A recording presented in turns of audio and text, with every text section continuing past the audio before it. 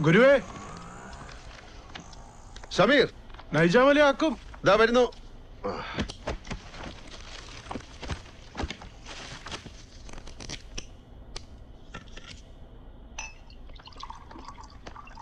ഈടാ നീ ഏതോ ഹോസ്പിറ്റൽ അത്യാവശ്യം ഫോമിൽ കിടക്കുകയാണെന്നാണല്ലോ കേട്ടത്. ഏ?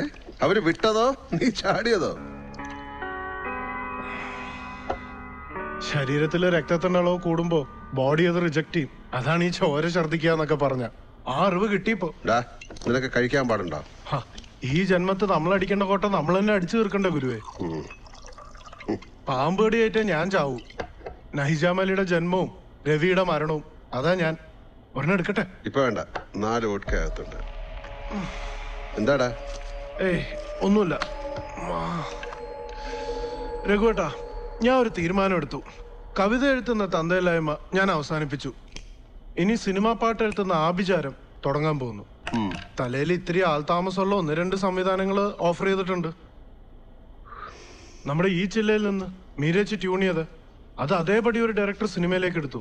പതിനായിരം രൂപയും തന്നു. ആലോചിച്ച് നോക്ക് രഘുവേട്ടാ എടശ്ശേരിക്കും വയലോപ്പള്ളിക്കും ഇവിടെ എന്ത് കിട്ടിയിട്ടുണ്ട്? ഇത് പന്ത്രണ്ട് വരി എ ബി തരത്തിന് പതിനായിരം റുപ്യ. അതങ്ങനെയാടാ വ്യഭിചരിക്കാൻ കൊടുക്കുന്ന കാശ് ഭാര്യക്ക് വീട്ടു ചെലവിന് കൊടുക്കില്ലല്ലോ. ഇന്ന് രാവിലെയും കൂടെ ഒരെണ്ണം പെടച്ചിട്ട് മീരച്ചടെ കൊണ്ട് കൊടുത്തേ ഉള്ളൂ. ഇടി ട്യൂണെന്നും പറഞ്ഞിട്ട്. അവക്ക് അങ്ങനെ തന്നെ വേണം. മഴ കൊണ്ട് മാത്രം മുളയ്ക്കുന്ന വിത്തുകൾ ചിലതുണ്ട് മണ്ണിൻ മനസ്സിൽ. കൊള്ളാം. ഇനി നീ അങ്ങനെ കുറച്ചാലും ജീവിക്ക. എരന്ന് നടന്ന് കുടിക്കണ്ടല്ലോ. ദാ, നിന്നെ ഹോസ്പിറ്റലിൽ ഡിസ്ചാർജ് ചെയ്ത് തന്നെയാണോ? പിന്നെ?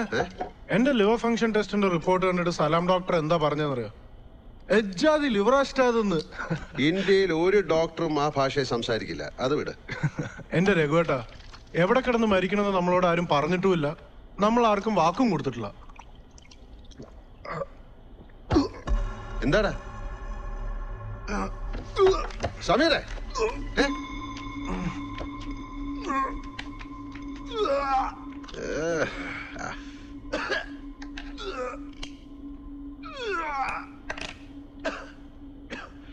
Sameer are you all right? Sameer എന്താടാ? ഏയ് ഒന്നുമില്ല. തൊണ്ട പൊട്ടിയന്റെ ഒരു.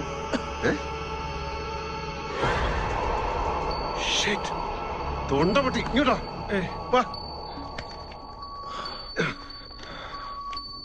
ബ്ലഡിന്റെ അളവ് കൂടുമ്പോ ബോഡി റിജക്ട് ചെയ്യും അല്ലേ?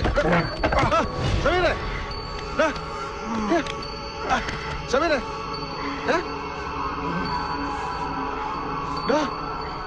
സമീറെ. ഉമ്മാ. സമീറെ.